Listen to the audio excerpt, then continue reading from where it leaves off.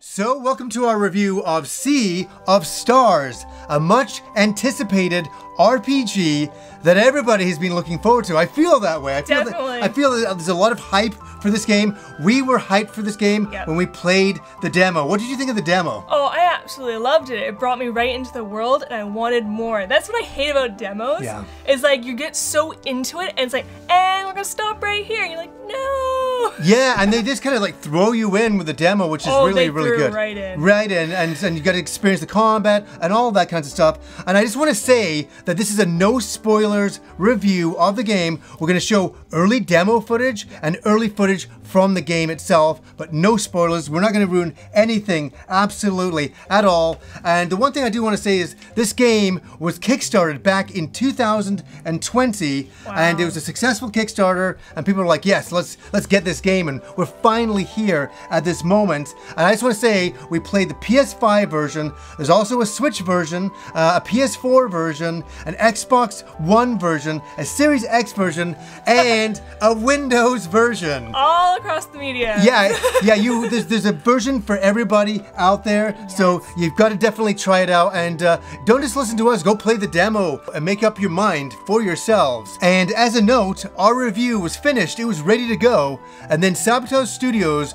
wrote to us and said, "Hey, can we sponsor this video because we want people to be able to find our game?" And we said, "Sure." So check out the link down below to order Sea of Stars. To begin with, no spoilers on the story. Yes. But something very strange is Is there a connection? there is a connection to this game, Sabotage Studios' first game, Messenger. Here, which was a ninja game. A ninja game. Yeah, how does a JRPG and a ninja Right up game your alley. Uh, right up my alley? but how do they all relate? Where Sea of Stars takes place thousands of years before this, but supposedly it's a shared universe, which is really, really fascinating. I love that stuff. Yeah, they like so they're keeping everything in the family at Sabotage Studios, that's for sure. So with no spoilers, the story is about two heroes using the power of the moon and the sun to fight against powerful enemies in the world. And that's the best we can do without spoiling anything. So I think next we should definitely talk about the graphics here. Can I just say this was so vibrant? Yes. Oh my god, it just like pops out right at you. Yeah, I think that's the amount of colors Yes. that they have going on, and sometimes the size of the sprites, and it's all sprite, Sprite, work yeah. here. But I've got to say, I gotta like commend the team for the amount of work they've done on these sprite-based the graphics. detail. The detail. Like even when people pop up to Yeah. talk, like just the detail in them. Oh is- yeah, oh. on their little profile, Profile pictures. pictures, thank they're you. so so so well detailed, and like in taverns, you were saying The fire. The fireplace. I'm like, look at the fire, and John's like, yeah, that's fire. I'm like, no, but look at the fire. I know, I know. We were really taken back by that. And even when you're running around towns and, and things like that, which are really well Oh, detailed. beautiful. Yeah, full of characters and life Yes. and culture in there. But even when you run by some ocean uh, going Oh on, yeah, there's the reflection. the reflections. There's reflection. Yeah, just like little things like that. Details. Little things that they didn't need to do, Oh. but they've done. They done. And that's what I want to say is this game, yes, it mimics older I mean, RPGs from our Yeah. youth, and they're very, very heavily influenced by Chrono Trigger. But I just want to say that they are really inspired by Chrono Trigger, and it shows. But they didn't just kind of rest there and just do an old school RPG. No. They've really gone the extra mile to create Yeah. something that really looks beautiful. Looks something that would come out on the Sega Saturn and Yeah. PS1 days, but better than that. And for modern consoles, it's not just a, a rehash of an old game, it's a, a redo of that idea on modern consoles. And they've taken full advantage, especially gigantic characters and things like that. And something that I know you really, really love is what? the map. Yeah. Oh yeah, you know how sometimes I have things with maps. Yeah, Yeah, me too, though. I like the map. It was Yeah. really well done and made me want to explore even more. And it just, I just want to go off. Yeah, I go go off. off and do more. And yeah, we'll talk about the gameplay for Yeah. exploration and things like that, but Yeah. graphics as a selling point, it's a winner. Oh, it's a This- It's a winner. winner for sure. And yes, there's a lot of other old school, uh, you know, RPGs out there looking, but this is It really brings it home. It really From brings the it home. old to the new, Yeah. I find because you know it's really hard for me to play those old school games. Games sometimes, yeah. But here it's like I get that taste of it, Yeah. but it's still the new. modernized. It's still modernized. Yeah, and there's there's so many other style of games that are mimicking these styles these Yeah. days, but I think this is one of the best. And so Kim's going to talk a bit about the combat, But to talk about the combat, we have to look once again back to Chrono Trigger. They really love this game, and that is not a bad thing Yep. to be inspired by such a great game. So, combat is very much like Chrono Trigger in that it's overhead, you're running around, Yeah. you see the enemies on the screen, and by running into them or they run into you, you initiate combat, and that's where things begin. Yeah, and it starts off with turn-based. That's Yeah. what we got here, Yes, which is love it. always so much fun. I know how Yeah. much you like turn-based Oh, yeah. yourself. Oh, yeah. And just the style overall is good. You got your um, different types of attacks that each character can do. You can do your healing as well.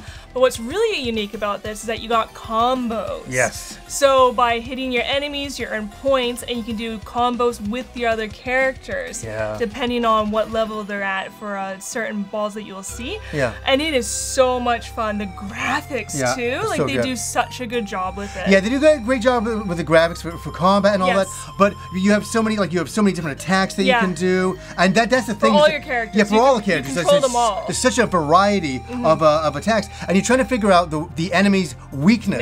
Miss. You're trying to hit it for massive damage just Of to do it, just to do a fun, fun old quote from the old days of E3 days. But it's the combo meter that really sells it, and that's again back harkening to Chrono Trigger. That's what Chrono Trigger did so well back then. They even have it on the cover of two characters doing a combo attack. And you've just got to love that. So combat is really fun, it's really engaging, and can be very, very challenging. Yes, it can. If you can't figure out their weak points, Yes. it can be hard. it can be a little bit hard and and even when you get into some boss encounters like we did Oh, in the demo it was like oh my goodness like it's really yeah, I- wild I, stuff had some gamer rage.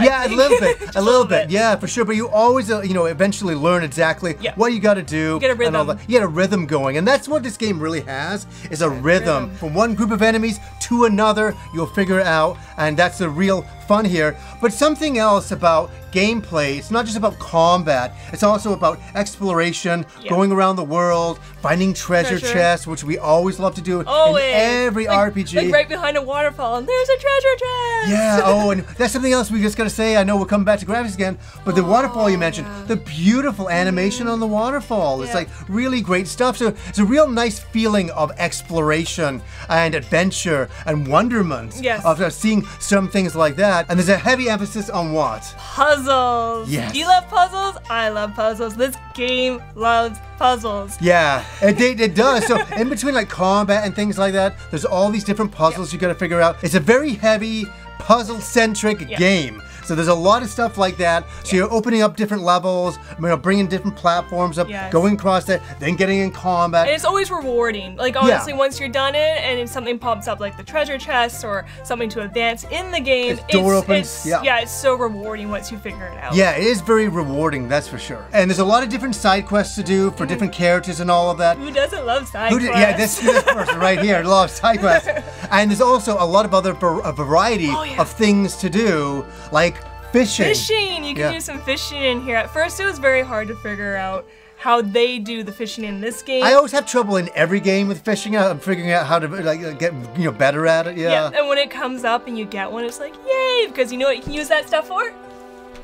Cooking. Cooking. Yeah, there's always cooking in, in Who every game. doesn't love cooking at the Kim, fire? Kim has a. Kim has an obsession with like cooking in video games. She loves doing it. The absolutely. food looks so good. It does. It, it does. And especially in pixelated goodness like this, the food looks extra good. It just makes me want to do more of my my pixel Oh yeah, yeah. beads. Yeah. stuff. Oh my oh god. yeah, for sure. So there's quite a lot to do, and especially in showing the game right now, you can see that you can run around towns, explore, Yeah. meet different characters, and all that. And that's something I haven't talked about. Is the characters are really, really charming and really, really Oh, funny. lovely. Yeah. There's really a lot of good humor written in there. That too. Yeah, I'm giggling through Yeah, it. th- the writing is really good. I know we talked lightly about the story, Yeah. but the writing itself is really, really well done. I could see that they spent some time developing these characters, and I, I really uh, applaud that as well. It keeps you engaged. It keeps you engaged, yeah. Now, one of my favorite things to mention in most most video games is the music,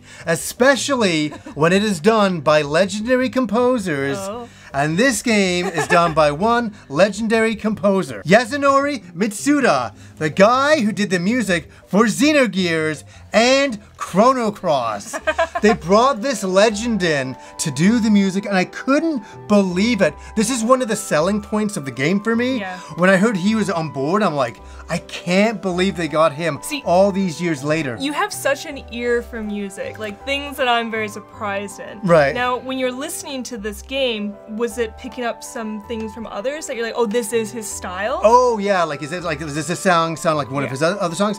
Yeah, there's there's a kind of an emotion of that. Mm, yeah. But what I really like here is he's done brand new compositions that are its own thing for this unique game. Yeah. So every one of his games really does sound a little bit different. He really Yeah. puts the emphasis to really change it up and make it different. And I think he's really knocked it out of the park. I really love some of the boss music, some of the the uh, you know combat music. Yeah. It's really good. And I got also got to world men- mu- just, yeah, just world music in general. But I also got to say that Eric Brown is the other composer who did the music, and uh, I think he did a really great job as well. In fact, sometimes I'm like, who did this? Who did, that? that? You know, it's it's one of those. But I really think it fits the game overall really, really well. I've been really enjoying my time with this game. It's so beautiful. I can't get over how vibrant this game Yeah. is.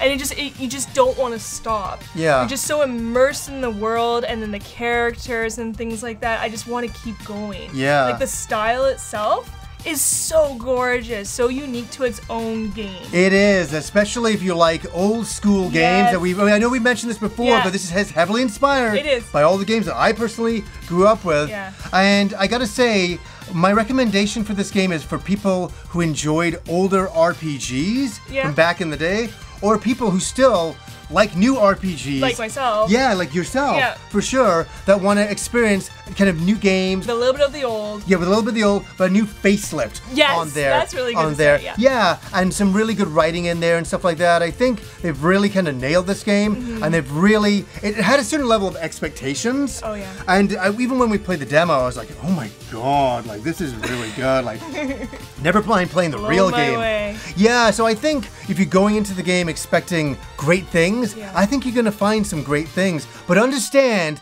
that it is an old school RPG at its heart. So know that. Know that there's no action combat in this one. It's turn-based, as It's Kim was saying, yes. you know, earlier on, and that the charm lies in that. And I, it's funny in playing this turn-based as well. It made me remember why I played Mm. yeah. all those old RPGs. I was just like, yeah, I love doing this. Like, combat. could you imagine having this game? I already. I already thought about that. so. I already thought about that. If it was me back like 25 years, I and would have this was your game. holy, we would have been blown away. Like, I couldn't even tell you. We've been like staggered Yeah. Looking at it going, I can't believe this. And there, I know there's a lot of RPGs nowadays and things like this, but Yeah. Sea of Stars is something special and it's definitely something to check out. Uh, if you're, you know, if you're on the fence about it, I think it really lives up to expectations, but it is, you know, harned by being an old school RPG. And to some people, that's a hindrance nowadays. Not, Yeah. not for us. We're, No. old, we're old school Yes. that way. That is for sure. So, guys, we just wanted to come in and do our review of Sea of Stars. It's finally here, and in 2024, early tw- 2024, there's a physical copy Yeah. coming as well. I will be picking it up Of course. day one. And when that vinyl comes out, if that ever comes Oh, out. yeah, that's another one to be picking eh? up. Absolutely. You can tell that we actually really enjoyed our time with Sea of Stars, and we're looking forward to getting right back to it. So, anyways, guys, until next time.